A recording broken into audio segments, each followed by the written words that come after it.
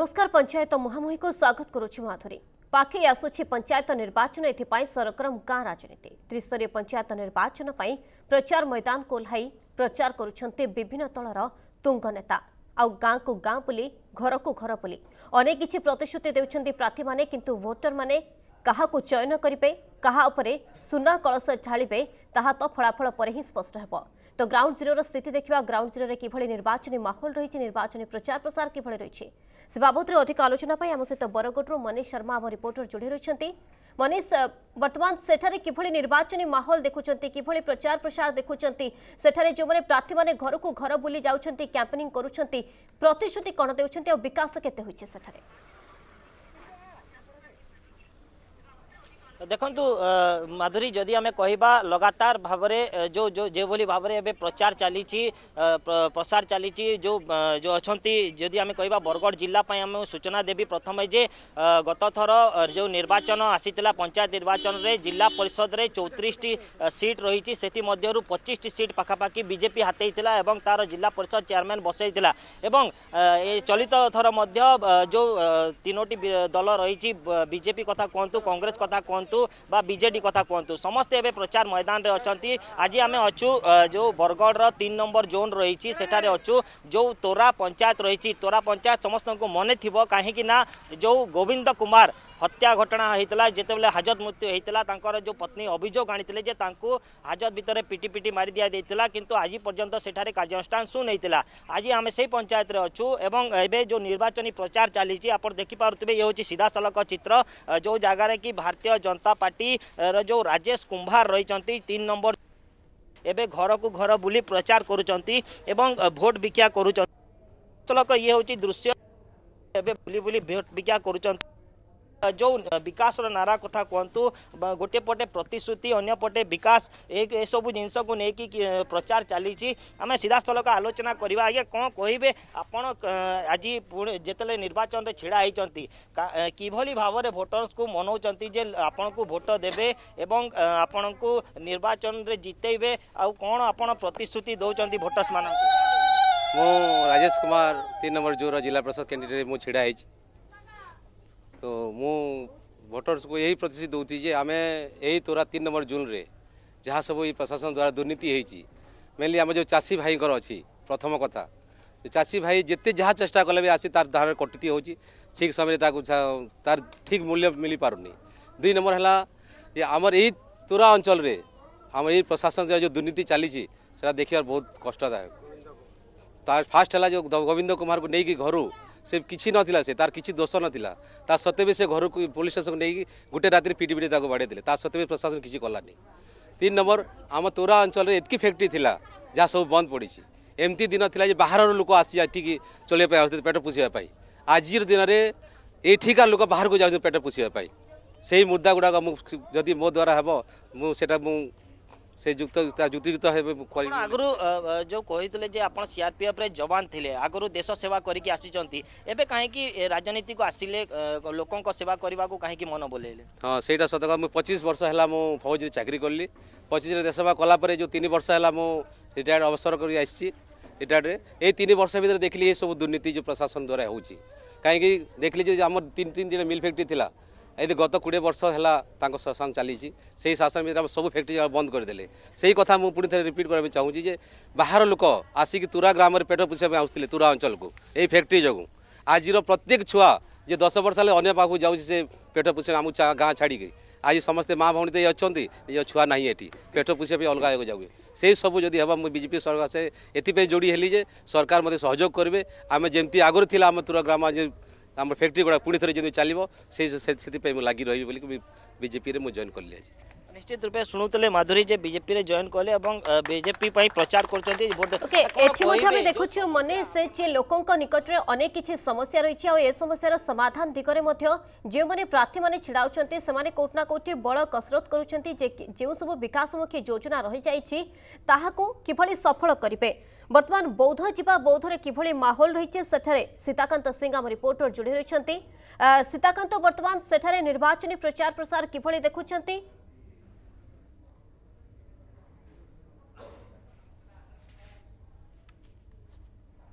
Block Radhanagar পঞ্চায়েতর ঘাসিপড়ার এবং এটি Congress, BJP, BJD সমস্ত প্রচার জোরসর চলেছেন এবং বিভিন্ন সমস্ত ঘরকু ঘর যাচ্ছেন এবং ভোট ভিক্ষা করছেন যদি কহবা মাধুরী আমি যে জায়গায় অছু রাধানগর পঞ্চায়েতর যে ঘাসিপড়া রয়েছে এটি অনেক সমস্যা দেখা দিয়েছে কিনা এমনি দীর্ঘদিন হল ঘর পাইবার বঞ্চিত হয়েছেন প্রধানমন্ত্রী আবাস যোজনা পাইবার বঞ্চিত হয়েছেন গত পাঁচ বর্ষ ভিতরে যা প্রতিনিধিত্ব প্রতিনিধি করা বাছি এবং যা ভোট ଯାହାକି ପ୍ରତିନିଧିତ୍ୱ ପ୍ରତିନିଧି କରିବା ପାଇଁ ବାଛିଥିଲେ ଏବଂ ଯାହାକୁ ଭୋଟ ଦେଇଥିଲେ ସେ ଆଜି ଏ, ତାଙ୍କ ପାଖରେ ନାହିଁ ଏବଂ ଦୀର୍ଘ ପାଞ୍ଚ ବର୍ଷ ପରେ ବି ତାଙ୍କୁ ଘର ଯୋଗାଇ ଦେଇପାରିଲେ ନାହିଁ ମୁଁ ସିଧାସଳଖ ଚିତ୍ର ଦେଖାଇବା ପାଇଁ ଚାହିଁବି। ବର୍ତ୍ତମାନ ଯେଉଁ ଜାଗାରେ ଆମେ ଅଛୁ ଅ, ମୁଁ କ୍ୟାମେରାମ୍ୟାନ୍କୁ ଦେଖାଇବା ପାଇଁ ଚାହିଁବି। ଏ ଏଠି ପାଖାପାଖି ଦୁଇଶହ ଭୋଟର ଦୁଇଶହ ଦୁଇଶହରୁ ଉର୍ଦ୍ଧ୍ୱ ଭୋଟର ସଂଖ୍ୟା ରହିଛି ଏବଂ ଲୋକମାନଙ୍କ ପାଖରେ ଆଜି ପର୍ଯ୍ୟନ୍ତ ଅ, ଘର ଖଣ୍ଡିଏ ବି ନାହିଁ। ଆପଣ ସିଧାସଳଖ ଚାଳ ଛପର ଘରେ ରହୁଛନ୍ତି। ଆମ ସ- ଏ, ସାଙ୍ଗରେ ଯେଉଁମାନେ ଅଛନ୍ତି ମହିଳାମାନେ ଅଛନ୍ତି କିଏ ବୃଦ୍ଧ ହୋଇଗଲେଣି ଏବଂ ଏ, କାହାର ମୁଣ୍ଡ ବାଳ ପାଚି ସାରିଲାଣି ଏବଂ ଆ- ଆଉ କିଛି ଦିନ ପରେ ସେମାନେ ଘର ପାଇବା ପାଇଁ ଆଶା ରଖିଥିଲେ କିନ୍ତୁ ଘର ପାଇପାରିଲେ ନାହିଁ ମୁଁ ସିଧାସଳଖ ଭାବରେ ଏ, ତାଙ୍କ ସହିତ ଆଲୋଚନା କରିବି। ଏ, ଏ, ମାଉସୀ ଆପଣ କେତେ ଦିନ ହେଲାନ ଘର ନାଇଁ ପାଇବାର କେମିତି ଅବସ୍ଥାରେ ରହିଛନ୍ କୋଡ଼ିଏ ପଚାଶ ଷାଠିଏ ବର୍ଷ ହେଲାନ ଆଜ୍ଞା ଆମେ ଘର ଦୁଆର କିଛି କିଛି ନାହିଁ ପାଇବାକୁ। কেড়ে অবস্থার রয়েছু পানি বেগ বড়লে গলি যাওছে ভালো ভালো আজ্ঞা আমি কেড়ে অবস্থার রয়েছু আমাকে জলদি ঘর দুয়ার দিও ভোট আজ্ঞা আমি নাই যাও মুন্ডর ভালো পাঠলা আমি নাল ডাকলা জুড়ো ডাকলা তমকু রাজধানী কনু আঙ্কু বইলা বেল তোমে ঘর দুয়ার নাই দেল কিছু নাই কেড়ে অবস্থার আমি চলুছু কি ନାଇଁ ନାଇଁ ନାଇଁ କେବେ ନାଇଁ ଆସି ଆମେ ଯାହାକ ଭୋଟ୍ ଦେଇଛୁ ଆମକୁ ସେମାନେ ଭୋଟ୍ ଆମନୁ ନେଇ ଯାଉଛନ୍ ଘର ବନାଇ ଦେମୁ ବୋଲୁଛନ୍ ଘର ନାଇଁକି ଦ୍ୱାର ନାଇଁ କିଛି ବନାଇ ଦେଇ ନାଇଁ ଆମେ ଆଜ୍ଞା ମାଟି ଘରରେ ଚଲୁଛୁ ତମେ ଦେଖ ଭୋଟ୍ ନାଇଁ ଦେଉ ଆଜ୍ଞା ଆମେ ନାଇଁ ଆସିଲେ ଆମେ କାଁ ବୋଲିକି ଜବାବ ଦେମୁ ତାହାକୁ ଭୋଟ୍ କେନ୍ତିକି ଦେଇଯିମୁ କେମିତି ଅବସ୍ଥାରେ ଅଛ କେମିତି ଅବସ୍ଥାରେ ଅଛୁ ଖାସ ଭୋଟ ନେଇ ଯାଉଛନ୍ ପାଇଗଲେ ରାଜଧାନୀରେ ବହୁଛନ୍। ଆମକୁ ହିନମାନ କରିକି ପକାଇ ଦଉଛନ୍। ଏ ଦେଖନ୍ତୁ ଯାହା ମାଉସୀଙ୍କ କୋହରୁ ଜଣାପଡ଼ୁଥିଲା ଯେ ଯେତେବେଳେ ବି ନେତାମାନେ ଆସୁଛନ୍ତି ଭୋଟ ନେଉଛନ୍ତି କିନ୍ତୁ ଭୋଟ ସରିଲା ପରେ ଆଉ ସେ ତାଙ୍କ ପାଖକୁ ଆସୁନାହାନ୍ତି। କାଣା କହିବେ ମାଉସୀ? ଆପଣ ନିହାତି କେମିତି ଭାବେ ଅବସ୍ଥାରେ ସୀତାକାନ୍ତ ଏଠି ମଧ୍ୟ ଅନେକ କିଛି ସମସ୍ୟା ଦେଖିବାକୁ ମିଳୁଛି। ଦୀର୍ଘ ବର୍ଷ ବିତି ଯାଇଥିଲେ ସୁଦ୍ଧା ଆଜି ବି ଏମାନେ କିଭଳି କୁଡ଼ିଆ ଘରେ ରହୁଛନ୍ତି ଭଙ୍ଗା ଚାଳ ଛପର ଘରେ ରହୁଛନ୍ତି ସେ ଦୃଶ୍ୟ ସାମ୍ନାକୁ ଆସୁଛି। ବର୍ତ୍ତମାନ ଢେଙ୍କାନାଳ ଯିବା ସେଠାକାର ଚିତ୍ର କ'ଣ କହୁଛି?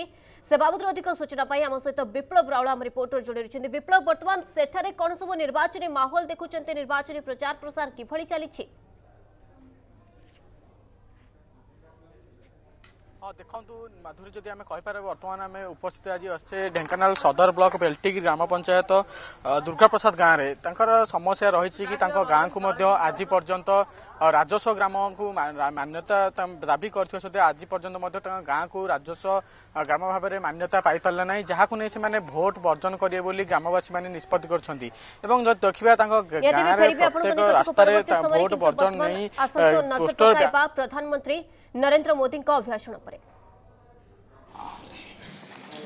ऑटोमोबाइल और बैटरी इस क्षेत्र में भी पीएलआई स्कीम उत्साहजनक परिणाम दे रही है। जब इतने बड़े स्तर पर मैन्युफैक्चरिंग और वो भी ज़्यादातर एमएसएमई सेक्टर के द्वारा होता है तो स्वाभाविक है दुनिया के देशों से ऑर्डर भी मिलते हैं, ज़्यादा अवसर भी मिलते हैं। और सत्य ये है कि इंजीनियरिंग गुड्स जो बड़ी मात्रा में एमएसए एमएसएमई बनाते हैं, इस समय जो एक्सपोर्ट का आंकड़ा बड़ा बना है, उसमें ये इंजीनियरिंग गुड का भी बहुत बड़ा योगदान है। ये भारत के लोगों के कौशल्य का और भारत के एमएसएमई की ताकत को प्रदर्शित करता है। हमारी डिफेंस मैन्युफैक्चरिंग इंडस्ट्री को हम देखें। यूपी और तमिलनाडु में डिफेंस कॉरिडोर बना रहे हैं। एमओयू जो हो रहे हैं, जिस प्रकार से लोग इस क्षेत्र में आ रहे हैं एमएसएमई क्षेत्र के लोग आ रहे हैं डिफेंस के सेक्टर में, ये अपने आप में उत्साहवर्धक है कि देश के लोगों में सामर्थ्य है और देश को डिफेंस के क्षेत्र में आत्मनिर्भर बनाने के लिए हमारे एमएसएमई क्षेत्र के लोग बहुत साहस जुटा रहे हैं, आगे आ रहे हैं। आदरणीय सभापति जी एमएसएमई को जैम उसके माध्यम से सरकार में जो सामान की खरीदी होती है, उसका एक बहुत बड़ा माध्यम बनाया है और वो प्लेटफॉर्म के कारण आज बहुत सुविधा बनी है। उसी प्रकार से हमने एक बड़ा महत्वपूर्ण निर्णय किया है। और निर्णय ये है कि सरकार में 200 करोड़ से 200 करोड़ रुपए तक के जो टेंडर होंगे, वो टेंडर ग्लोबल नहीं होंगे। उसमें हिंदुस्तान के लोगों को ही अवसर दिया जाएगा और जिसके कारण हमारे एमएसएमई सेक्टर को और इसके द्वारा हमारे रोज़गार को बल मिलेगा। आदरणीय सभापति जी, इस सदन में आदरणीय सदस्यों ने रोज़गार के संबंध में भी कुछ महत्वपूर्ण बातें उठाई हैं। कुछ लोगों ने सुझाव भी दिए हैं। कितनी जॉब क्रिएट्स हुई है? ये जानने के लिए ईपीएफओ पैरोल ये ईपीएफओ पैरोल सबसे विश्वस्त माध्यम माना जाता है। साल 2021 में लगभग एक करोड़ बीस लाख नए ईपीएफओ के पैरोल पे जुड़े।